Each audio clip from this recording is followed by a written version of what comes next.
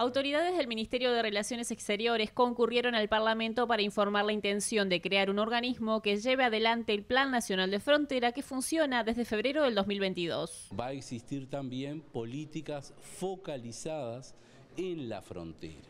Hay que tener en cuenta que Uruguay, en la comisión de hoy, era la comisión especial de fronteras con la República Argentina, pero en realidad tenemos la frontera con la República Argentina y con la República Federativa del Brasil.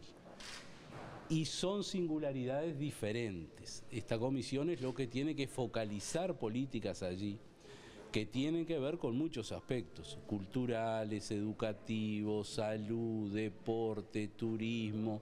Entonces, para ello, para hacer esa política focalizada en las fronteras, necesariamente hay que, debe haber un órgano que estudie y siga adelante con toda esa temática. Una política pública que esté establecida y focalizada en la frontera deberá necesariamente ayudar a paliar una situación como la que estamos viviendo en este momento.